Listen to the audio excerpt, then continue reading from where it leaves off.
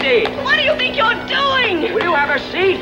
Oh, You're being kidnapped. kidnapped. That's just about it. Oh, but I, I can't be kidnapped. I'm just about to be married. I admit my timing was bad. Kidnapped? Uh, Do you mind if I sit here? No.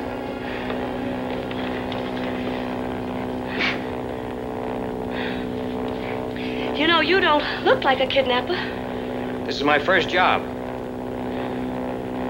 Have you, um, have you got a mob? No, no. They call me the solo kid. How much are you asking for me?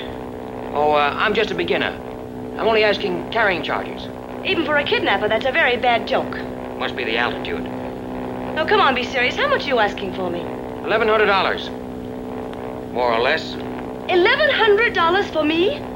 A girl of my social standing, an heiress? Why, I'm practically a national figure. What do you think you're worth? At least a 100000 Oh, now come, Miss Winfield. You glamour girls are a drug on the market. I couldn't possibly ask more than, say, yo, fifteen hundred. Don't be ridiculous. You could ask for 50000 and my father would pay it. He can afford it. I'll tell you what. You come down a little and I'll go up a little. You're the strangest kidnapper.